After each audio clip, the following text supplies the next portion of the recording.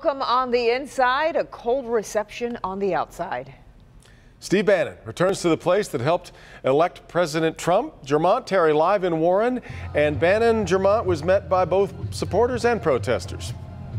He was, and Bannon spent a good 40 minutes breaking down the accomplishments of President Trump's campaign and how Macomb County really helped President the president win in Michigan. At the same time, he told the packed house that the fight is not over. While outside the venue, people are fighting against what they say Bannon, Bannon stands for.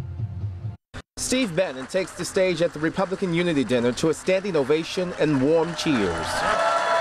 Bannon served as the president's key advisor during the campaign and briefly as the White House chief strategist. He came back to Michigan to speak about the victory Macomb County played in putting Mr. Trump in the White House.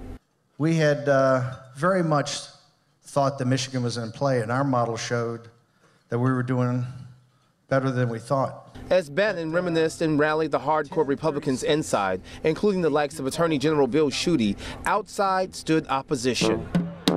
Mm-hmm. A group of anti-Bannon demonstrators denounced the Republicans' decision to bring him to a dinner for unity. He stands for bigotry, he stands for hate. He should not be invited to raise funds here in Macomb County. Really, all he cares about is money for rich, more rich people. But the room full of Republicans, not to mention the Bannon and Trump fans outside, disagree. I think Bannon and I think Donald Trump are true Americans who are committed uh, to the advancement of the United States of America. And Bannon, before leaving the dinner, told the crowd to keep pushing the Trump agenda ahead. This is going to get down to one thing who can work harder?